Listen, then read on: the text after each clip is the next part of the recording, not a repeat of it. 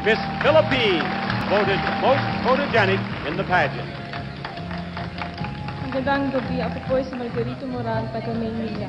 Miss Philippines.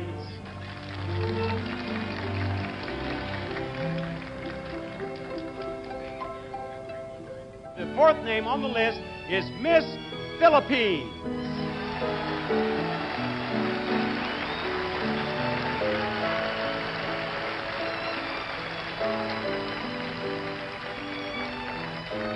And now, Miss Philippines does know English, and uh, your name is? Margarita Moran. And what would you like to do, Margarita? Later, Yes, as a job. uh, I'd like to be a banker. A banker? Why a banker? Well, uh, first, I'd like to follow my father's footsteps because he's a banker.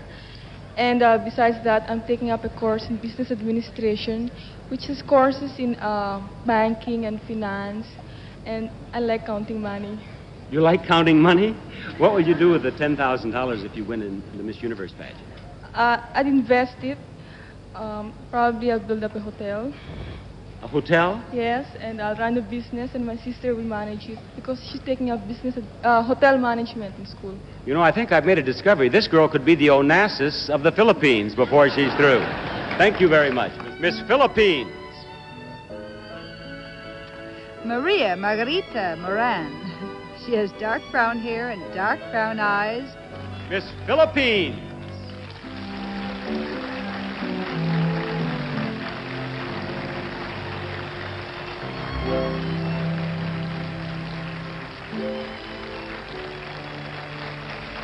Miss Philippines.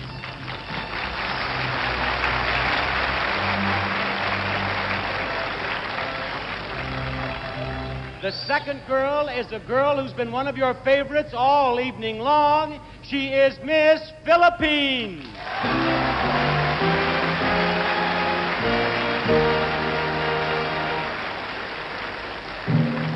Now, Miss Philippines, this is the remaining question. This question is for you. Your question is let's make believe that all of a sudden, this is a perfect question for her. Let's make believe that all of a sudden you had a million dollars. What's the first thing you would buy and why would you buy it? A house and lot. Because it's the most expensive thing and I can't afford it. So if I had a million bucks, I'll buy a house and lot and live by myself. and other people, of course. Thank you very much.